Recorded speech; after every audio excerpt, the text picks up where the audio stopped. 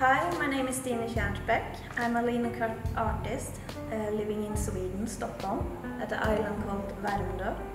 Uh, my art background, uh, my father is a lithograph and uh, I studied uh, art uh, for three years in high school and there I tested linocut for the first time. Um, but then I just forgot about it all and painted and did stuff like that. And uh, quite a few years later, I found the work that I did in school uh, and I put it on my wall at home. And a friend came home to me and said, "Oh shit, Stina, this is what you're gonna do. This is you." Um, and from there, I started uh, doing linocuts again, uh, and I have developed my own style in that sense. Uh, I like to uh, say that I am quite between uh, an artist and a, a graphic. Um, I like to blur out the line. In my art I like to um, portray women, often female bodies, um, how they can be strong, uh, confident, but also uh, show weakness.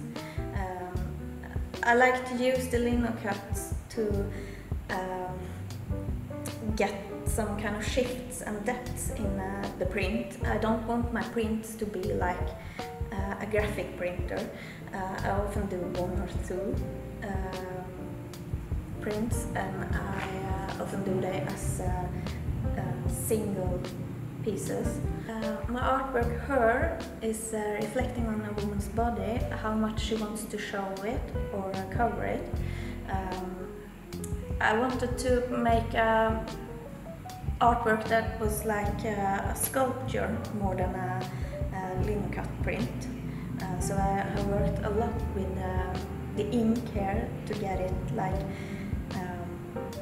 small shifts in the print so it gets a, a, depth and a light in it. Heaven um, is more like a, uh, it's reflecting on a woman and uh, how she um, decides over her own body. Um, I have said that you can long for heaven, heaven on earth, but that's the guardian there, and that's the woman herself. Uh, so she's guarding her own body and deciding. Uh, my experience here has been great. Uh, I love the venue. I feel like the art, uh, my art and also the other art, um, are pretty good in this venue. Um, I love the whole experience um, and how the gallery has uh, taken care of me as an artist.